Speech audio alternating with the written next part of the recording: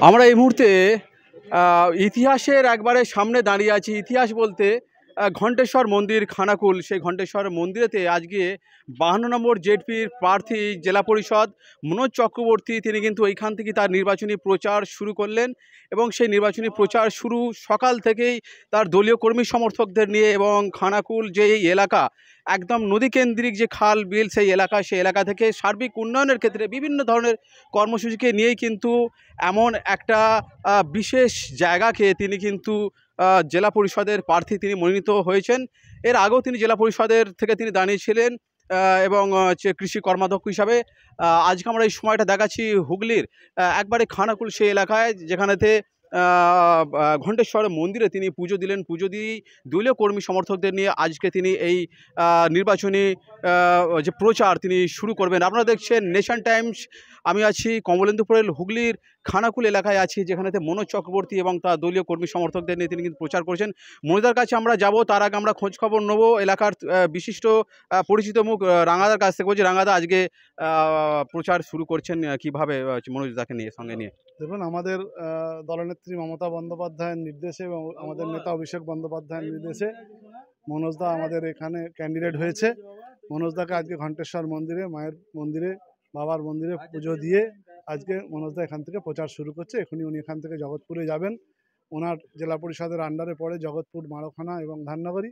উনি ওখানে আজ থেকে প্রচার শুরু করবেন এবং খানাকুলেই উনি আজ থেকে থাকবেন। যেখানেতে বিজেপি, সিপিএম, কংগ্রেস আইএসএফ এর মতো যারা তিন বছরের বাচ্চা দল, আইএসএফ নিজেকে দাবি করেছে দু তিন দিন আগে একজন আইএসএফ এর কর্মী, তিনিও দাবি করেছেন আইএসএফ নাকি তিন বছরের বাচ্চা দল। তারাও কিন্তু নমিনেশন দিয়েছে।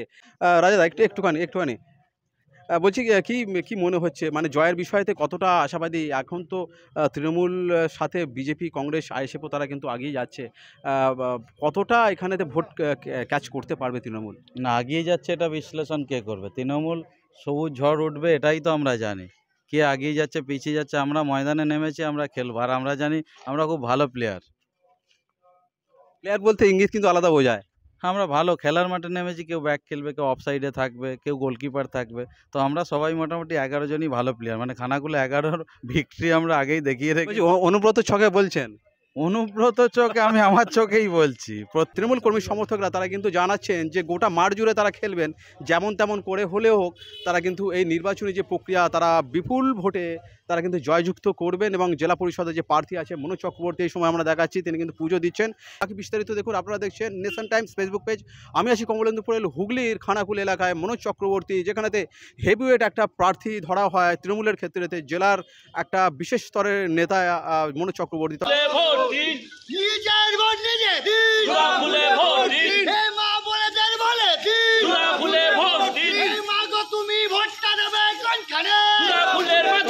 আমরা এই মুহূর্তে আছি একবারে খানাকুলের প্রান্তিক প্রত্যন্ত এলাকায়, যেখানেতে জগৎপুর গ্রাম পঞ্চায়েতের নন্দনপুর সেই এলাকায় বাহান্ন নম্বর জেডপি, সেখানে মনোজ চক্রবর্তী প্রার্থী হুগলি জেলা পরিষদ থেকে তিনি এসেছেন এবং প্রার্থীর দেয়াল লিখন নিজে দেয়াল লিখতে শুরু করে দিয়েছেন, যেটাকে বলা যায় যে ছাত্র রাজনীতি থেকে ওনার সেই হাতে যে হাতে খড়ি যেটাকে বলা যায়, একবারে যে তুলি, সে তুলির টান, একদম সেই নিজের দেয়াল। মানে কর্মী সমর্থকরা যেমন আছেন, ঠিক আছে, নিজেই তার দেয়াল লিখতে তিনি কিন্তু ব্যস্ত হয়ে গেছেন।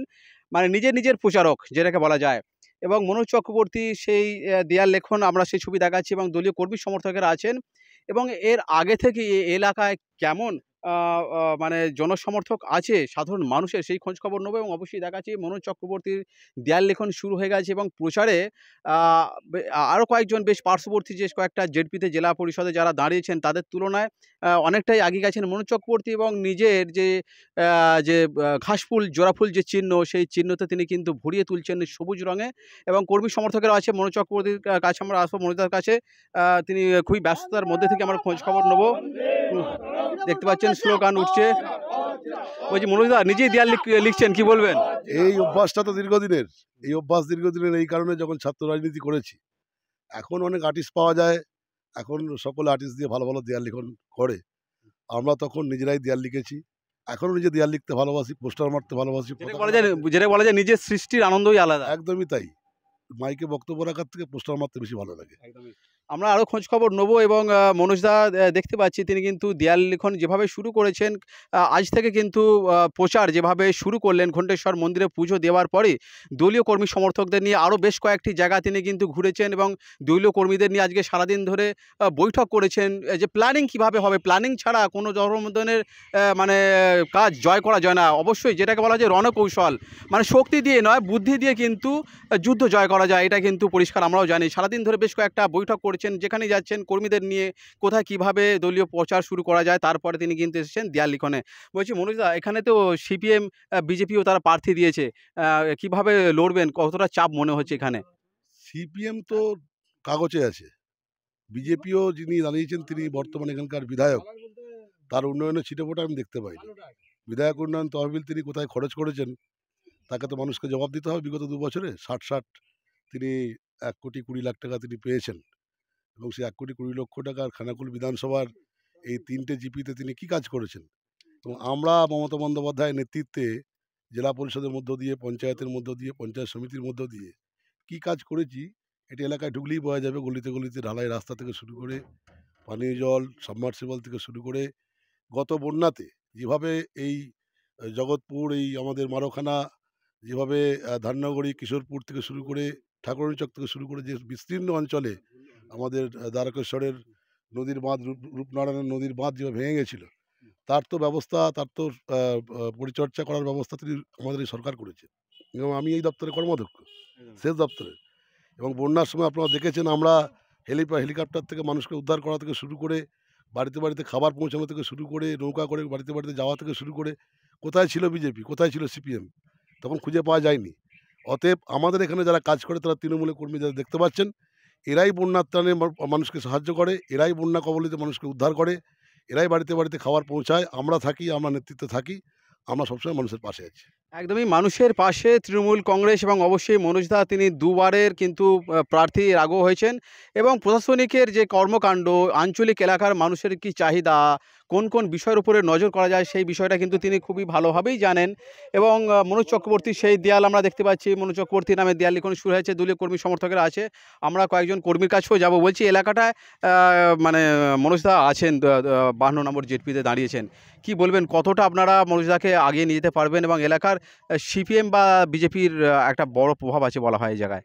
যেটা ফ্যাক্টর হচ্ছে মনোজদা যে আমাদের তিনটে গ্রাম পঞ্চায়েত থেকে দাঁড়িয়েছেন, জগৎপুর, মারখান এবং ধান্যগড়ি মনোজদা খুবই সিনিয়র লিডার এবং উনি খুবই ভালো ব্যক্তি। আমরা আশাবাদী ওনাকে আমরা তিনটে পঞ্চায়েত থেকে জেলা পরিষদের সদস্য হিসাবে ওনাকে আমরা জিতাবো। এবং আমাদের কাছে এখন বিজেপি সিপিএম কোনো ফ্যাক্টর নয়। সিপিএম রাজনৈতিক আগিনা থেকে শেষ হয়ে গেছে। তো বিজেপির বিধায়কের ওপর যে অভিযোগটা আসছে তিনি একজন বিধায়ক হিসাবে তিনি এই এলাকার যে ধরনের কর্মকাণ্ড করার কথা ছিল সেই ধরনের তিনি কর্মসূচি নেননি। এমনটাই কিন্তু বারে বারে অভিযোগ উঠেছিল। কিন্তু এবারেও কিন্তু যে বান্ন নম্বর জেডপির যিনি প্রার্থী মনোজ চক্রবর্তী আসার পর কর্মীরাও কিন্তু একইভাবে তিনি কিন্তু বলছেন যে বিজেপিকে কোনোভাবে পাত্তাই দিচ্ছেন না। বিজেপিকে সেভাবে ওনারা কোনো খুব একটা পাত্তাই দিচ্ছেন না এবং বিজেপির যে বিধায়ক এলাকারই বিধায়ক, তবে বিজেপির যে হাওয়া সেটা একমাত্র কিন্তু কাগজে কলমে এমনটাই জানাচ্ছেন মনোজ চক্রবর্তী এবং সারা দিন ভোর আজকের প্রচার চলছে এবং প্রচারে যেভাবে ঝড় তুলেছেন মনোজ চক্রবর্তী, সারা দিন ধরে আমরা সেই কভারেজ অবশ্যই দেখাবো, তার প্রচার আঙিনা কীভাবে কর্মীদের কিন্তু ইনস্ট্রাকশন দিচ্ছেন। এবং এই এলাকায় যেভাবে ভোট নির্বাচনে কীভাবে জয়লাভ করতে হয় এবং ভোটের যে কৌশল সেই বিষয়ে কিন্তু প্রতিনিয়তই এলাকার সাধারণ তৃণমূল কর্মী এবং সাধারণ মানুষের সাথে খোঁজখবর নিচ্ছেন। তবে এখন দেখার মনোজ চক্রবর্তী এই যে বাহান্ন নম্বর জেডপি এলাকায় ভোটের মার্জিন কতই আনতে পারে এবং সারাদিনের আরও বিস্তারিত দেখুন নেশন টাইমস হুগলির খানাকুল থেকে কমলেন্দু